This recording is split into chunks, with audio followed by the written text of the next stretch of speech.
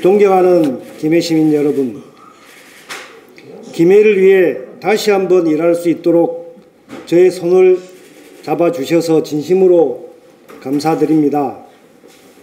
지난 2월 28일 저녁 언론을 통해 알게 된 저의 공천 배제 소식에 민주당 당원들뿐만 아니라 김해 시민 여러분들께서도 큰 충격에 빠졌습니다. 이후 확인해 본 결과 당의 최고위원회 의결을 거친 공식 결정은 아니었습니다. 김해을 지역위원회에서는 공천배제 처리를 요구하는 당원, 상무위원, 주요 당직자들의 강력한 저항이 있었습니다. 또 37개 농업 분야 시민사회 단체에서도 공천배제 철회를 요구했고 특히 우리 김해 시민들의 적극적인 구명운동이 있었습니다.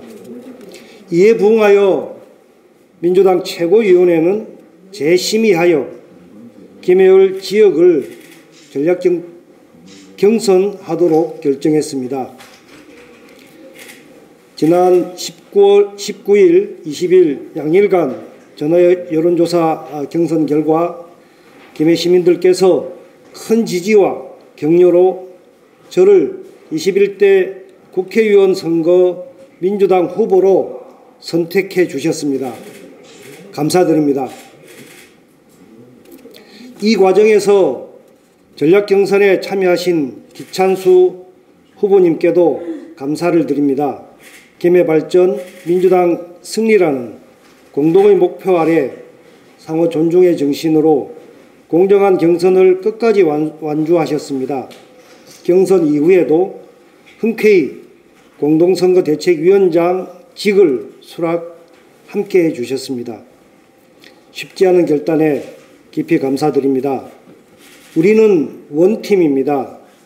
이를 바탕으로 김정호의 뚝심 캠프 선거대책위원회는 김해 발전을 염원하는 모든 각계각층의 바램과 요구를 통크게 결집, 보다 넓고 깊게 함께 갈 것입니다. 4.15 총선이 임하는 저의 입장 한 가지를 아울러 말씀드리겠습니다. 저는 21대 총선에 출마하신 후보들에 대해 그 어떤 악의적 비방이나 소모적인 논쟁을 정쟁을 하지 않겠습니다. 대신 지방차별과 불균형, 지방 소멸의 위기 상황을 타개하고 지역경제를 살리는 정책 대안 모색과 함께 살고 싶은 도시 김해를 위한 현실적 발전 전략과 구체적 실행 계획을 함께 나누겠습니다. 이번 선거에서 일체의 소모적인 정쟁보다 우리 지역의 현안 해결을 위한 생산적인 정책 선거가 되도록 저부터 솔선수범하겠습니다.